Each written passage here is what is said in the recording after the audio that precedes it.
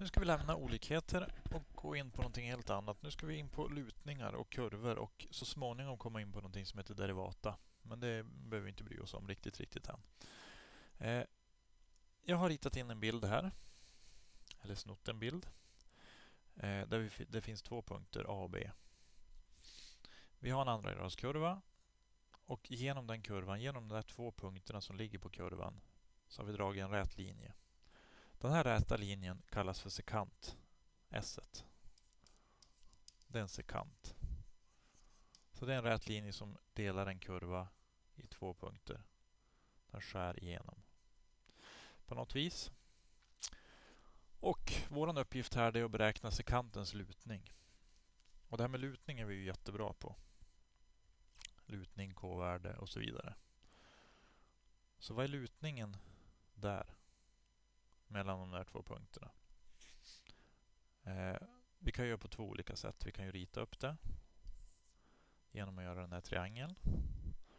Vi ser att höjden är 3, bredden är 1.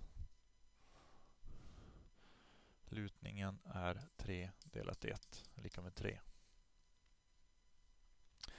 Alternativet är att vi gör det som en ändringskvot. Jag ska skriva upp det här för det kommer att återkomma.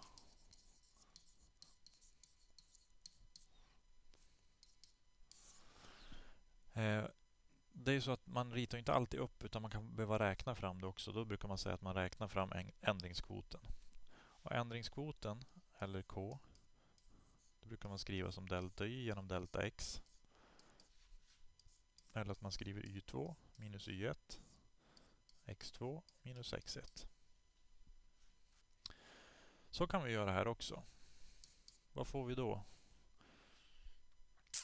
Eh, x1 och y1 det är de här koordinaterna. x1 är ju 1, det vill säga den ligger ett steg åt höger. Fel. Vart det direkt. Det var x1 som var 1. Och y1 är ju 2. Därför att den ligger på höjden 2. x2 och y2, det är den där punkten. x2 är 2. y2 är 5. 5 minus 2 är 3. Delat 1. 3. Så lutningen eller ändringskvoten är 3. Kommer återkomma en hel del eh, framöver också. Nästa exempel. Nu ska vi inte rita, nu ska, nu ska vi räkna. Ett hus som år 2000 är värt 500 000 och år 2012 så är det värt 740 000. Så vi ska beräkna hur mycket husets värde har ökat i genomsnitt per år. Eh, och då, det vi ska göra egentligen det är att kolla värdeförändring.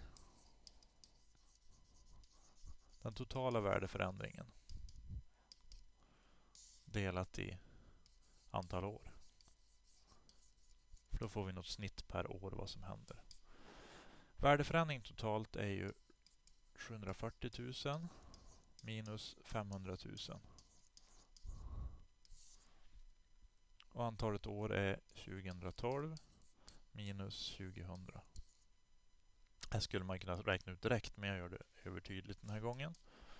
740 000 minus 500 000 borde bli 240 000. Så många kronor har huset ökat under de här åren och antal år är 12 år. 240 000 delat till 12. Ja, kan vi det i huvudet? 24 delat till 12 är 2 och så 4 nollor. Så då borde det bli 20 000 kronor per år. Så det är ändringskvoten kan man säga. Så genomsnittliga prisökningen per år. Och så det sista exemplet som är mest teoretiskt av det här men kanske vi har mest nytta av för det som ska hända framöver. Så vi ska beräkna ändringskvoten för funktionen x upphöjt till 2 då x ändras från 1 till 1 plus h. Oj då. Men nu är det så här, x ändras från 1 till 1 plus h. Det betyder att det här är x1 och det där är x2. Eh, alltså, x1 är lika med x2 är lika med men då är frågan y1 och y2, vad är de? x1 var 1. x2 1 plus h.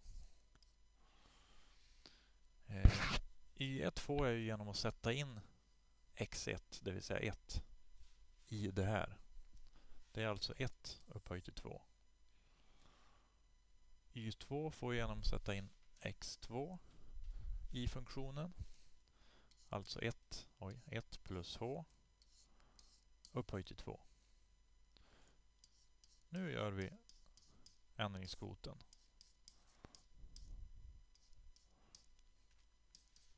y minus varann. 1 plus h upphöjt till 2 minus 1 upphöjt till 2. Delat med x2 1 plus h minus 1. Nu ska vi förenkla det här. Kvadreringsregeln. 1 upphöjt till 2. Ja, jag skriver inte den där tvåan utan 1 upphöjt till 2 är 1. Plus alla gånger varann. 2h gånger 1 plus h upphöjt till 2 minus 1 upphöjt till 2 som var 1. Delat med 1 plus h minus 1. Då tar jag de där ut varann. Så vi får bara h kvar där nere.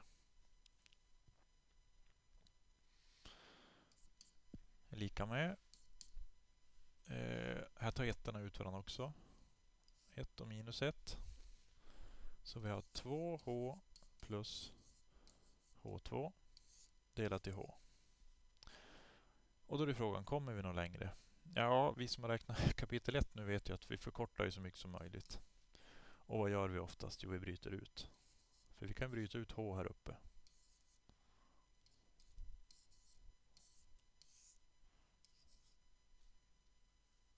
Och vad var det bra för? Jo, vi kan ju förkorta H mot H. Så vi får 2 plus H. Så det är ändringskvoten. Väldigt teoretiskt som sagt, men ni kommer ha nytta av att kunna det här när vi kommer framåt derivata så småningom. Så svaret är 2 plus H. Ändringskvoten är 2 plus H.